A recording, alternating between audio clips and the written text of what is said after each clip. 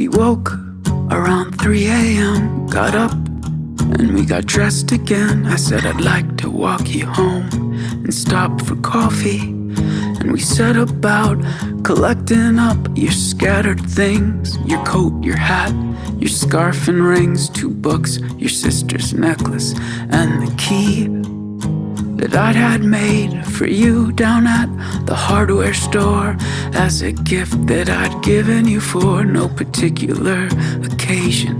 Nothing special, just a gesture of my feelings. And we wound on down. The creaking stairs were very loud, and you dragged your outstretched fingers down the walls and all the windows.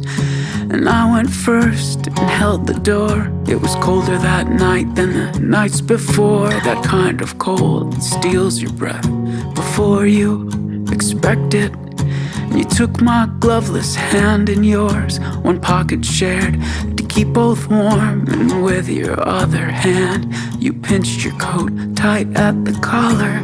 And I thought it's too cold by far to snow. The sidewalk wasn't salted though, and we slipped somewhere. The ice took hold in intermittent patches. And so we made our careful way across the park to 28th and into Rosa's diner, where they kept old coffee hot. And the sign in front said, Seat yourself. And so we went and sat ourselves, and you chose the biggest booth because you said, We are a party.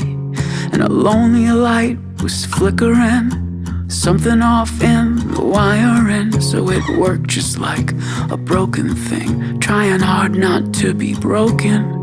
And you said to me, Remember this, and so I still remember it. And though you didn't say why, I believed you had a reason. And I'm thinking about that now as I'm grinding up our coffee grounds in the bright kitchen of our house as you sleep in this morning.